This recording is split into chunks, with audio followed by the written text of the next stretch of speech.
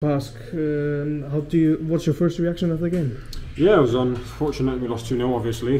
We, we don't want to lose games, uh, but it's only half time in the tie, so we got uh, our second half at our place, and uh, it's not over yet. So we'll go back there and uh, put on a good show and try our best to score three goals and, and get through to the next round. Are you happy with your team's performance tonight? I thought we dug in well. Um, we we knew what to expect going into the game. Um, they were a good side, to be fair to them. Played the ball really well, passed the ball really well. Um, it was unfortunate with the two goals, especially the second one. If you look back at that Mm. one, uh, I don't need to say too much about that, but um, it is what it is. It's football. Uh, decisions don't go your way all the time, so we'll try our best to do a, the best we can to play and, and score some goals at our place.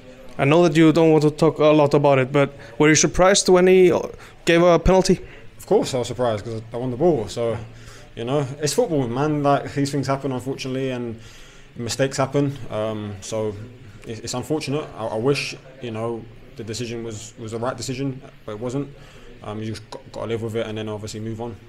Were you surprised that you were included in the starting eleven? Uh, no, I wasn't surprised. Um, I work hard to try and build my fitness. Uh, maybe I sign a bit later, so I need to get my match fitness together. But I, I thought I did okay. I um, I felt fit in the game. Maybe slightly not 100% uh, fit, but that will come as games play and you get more 90 minutes. So I wasn't surprised. No.